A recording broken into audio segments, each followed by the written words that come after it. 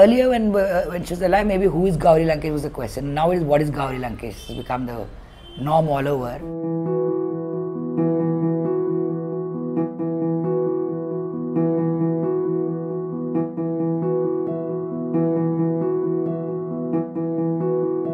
Tuesday, I came to give her dinner, and she was with some couple people, and I had to rush off the studio. So I just left the dinner on the table, and I said, "I'll catch you later." And the la- next thing I know, I play badminton near, very near to her house, three to four days a week. So I went there, and I was returning, and my mom called me, saying, um, "Gauri has fallen down, I believe.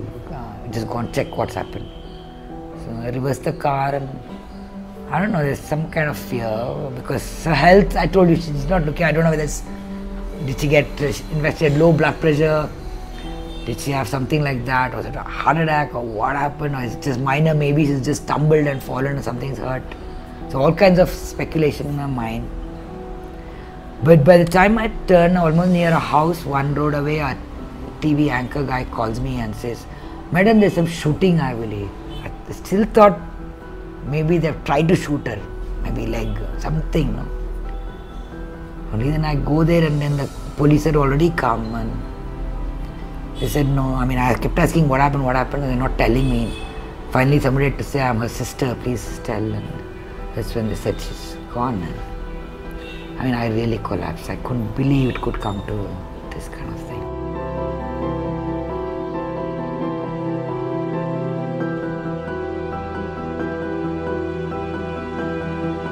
but it can be very painful. For instance, when they show the pattern of a gun which goes from like in somebody's body and this body and they show it, it's like surreal. You, you, you don't, you can't connect it for a second. You know, then you realize it's through your sister's body, this is happening in your sister's body.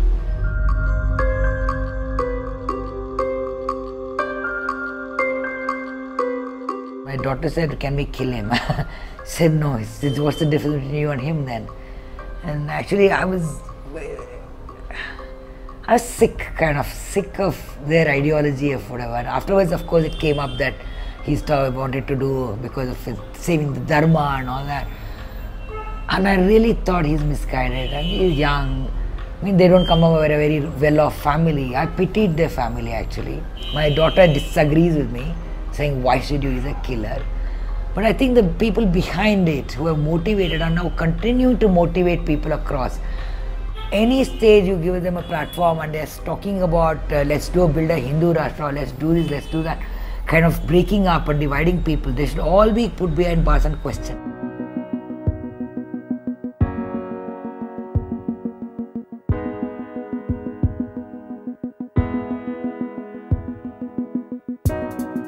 Even when we were young, I remember we were not that very rich. Uh, we lived a very actually lower middle class uh, family. My father was a lecturer and my mother was scrounging to make ends meet.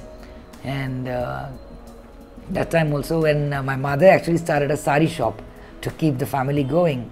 And that time also when my father finally started his paper, though without advertisements through circulation itself, some money started coming into the family, you know, which saw some money without worrying about how do we pay school fees and all that. So that time my father would give us a blank check to Premier Bookshop. There's a very, there was a very cute, uh, you know, typical bookshop where if you touch one stand, files of book would fall on you. So it was a beautiful bookshop with an owner called Shanbhag. So my father was a regular customer there, so he would give us a check and say, go buy whichever books you want and give the check to him. So he would not worry about whether we got new clothes, uh, anything like that. But books, he was always very generous.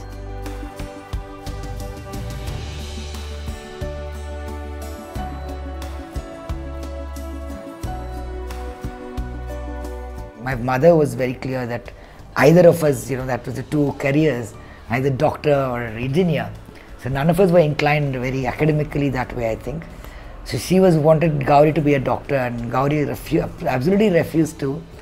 And in fact, um, the next other be- better option was my mom thought let her at least marry a doctor. So she got, you know, a prospective guy came from Shimoga, small town, and he was supposed to come a couple days later, and Gauri that time had this long, beautiful hair, and.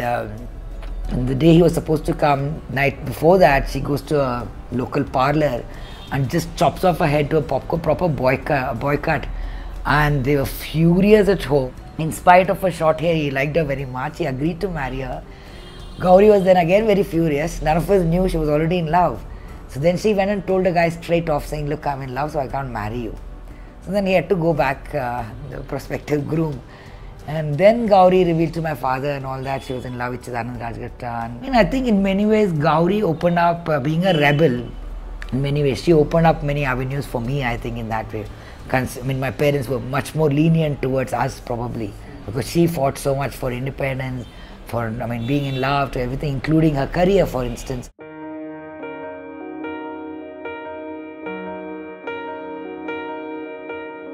That I love her still. Nothing. No. Uh, she lived her life, I think. I don't think anything I would like her to be changed.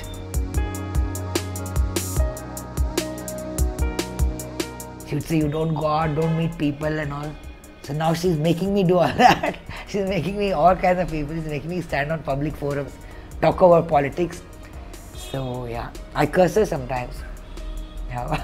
Why did you do all this on my head? Because my life is different and it's changing, it's becoming. Uh, but I have to get it in order soon.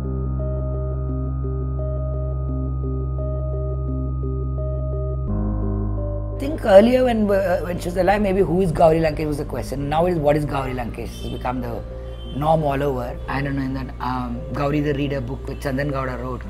There's one lady who a writer writes who walked about 30 kilometers to some lonely bus stop, not a big city or anything, small town. She stood saying, I'm Gauri with a placard for half a day. Then she went somewhere else and stood again, silently alone, I'm Gauri. So I think that's about sums it up, what Gauri mm. was. Because what is that lady's connection with Gauri in that way? You know, somewhere far off, some remote place in Karnataka, suddenly coming to a small corner of a, you know, a circle and standing there, spending the whole day and walking.